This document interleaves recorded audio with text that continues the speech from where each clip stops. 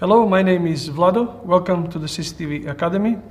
In this episode, I will talk to you about the depth of field of CCTV lenses. Every CCTV camera needs a lens to produce an image. The lens is the first and most important part of a television system.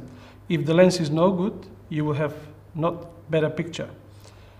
Lenses have number of settings. In my hands I'm holding a manual zoom lens and as most CCTV installers and technicians would know, we've got auto iris, manual iris, zoom lenses, varifocal, but each one of them has an iris.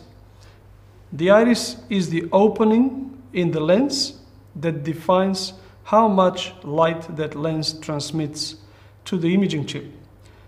The smaller the opening is, the higher the f-stop is, the less light falls onto the CCD chip. Now, if it is a manual lens like the one I'm holding in my hand, obviously it is a setting that a person can do for purposes of testing or maybe leaving it at a fixed f-stop all the time, which is the name of the opening. We usually refer to that as f-stops. F-stops are number that go from low, such as in this instance 1.0, up to, for example, in this case, f22. If the lens has got automatic iris, these numbers may not be visible, but the important thing is that automatic iris varies the opening of the iris, therefore the amount of light falling on the CCD chip is different. So what is so important about this iris? Well, not only it reduces the amount of light, but indirectly it affects the so-called depth of field.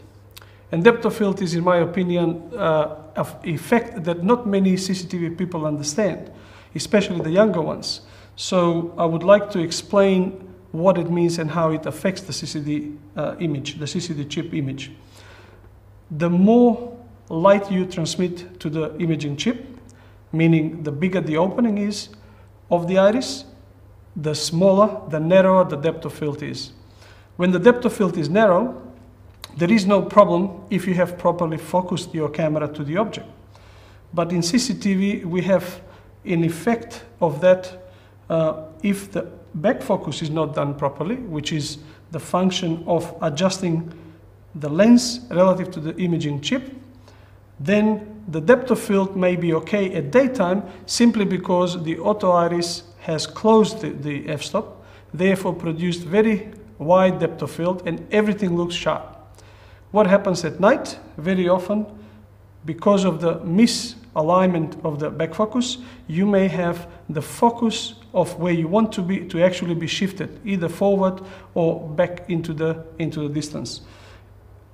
In order to do that properly, there are many procedures that people are recommending. There are many books, installation manuals, but it is important to know that the manual lens adjusted to a camera has to be adjusted to the actual distance of the CCD chip, meaning the back focus has to be adjusted if you want the image to be sharp all the time.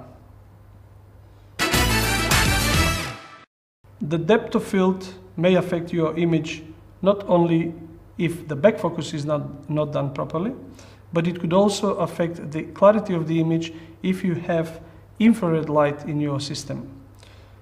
Infrared lights and infrared frequencies are longer than the visible light and because of the simple optical rule of refraction they focus their image behind the plane of the imaging chip.